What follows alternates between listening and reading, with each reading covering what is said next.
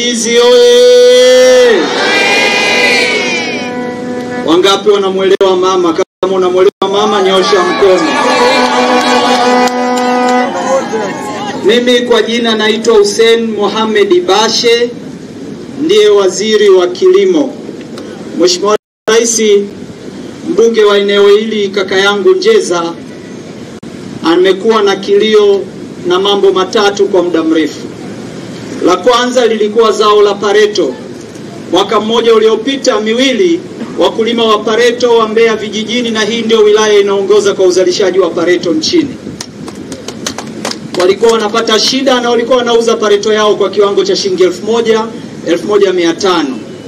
Tuliporuhusu usagaji wa pareto na kuuza pareto ya unga mwaka huu wamefika kati ya wastani wa 2500 mpaka shilingi 3000 na nataka niwahakikishie hatutazuia usafirishaji wa pareto ya unga.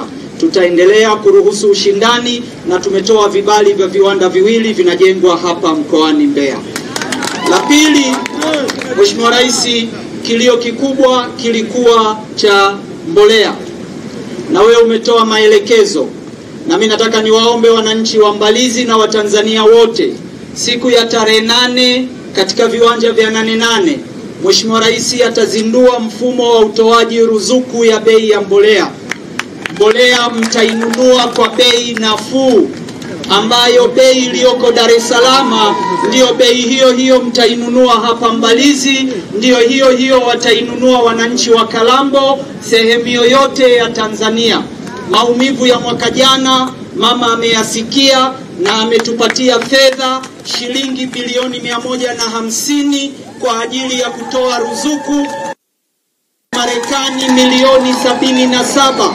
Kwa hiyo wakulima, mjiandae kwenda shambani, wala msiwe na hofu. Na mwaka huu bei ya mahindi nzuri mbaya, mnataka tufunge mipaka Mmesema nyinyi, Mheshimiwa Rais amesema kilimo ni biashara, hakuna kufunga mipaka. Sisi tutahakikisha mnafanya biashara yenu, mnavuna, mnauza popote kule. Nawashukuruni sana. Nakushukuru Mheshimiwa Waziri. Mbalizi oye! Katika kuuza mazao mnayozalisha, msisahau kujiwekea chakula cha kutosha. Msisahau kujiwekea chakula cha kutosha, ziada inayobaki uzeni, lakini chakula cha kutosha jiwekee nyumbani kwanza. Haya, waziri anayefuata.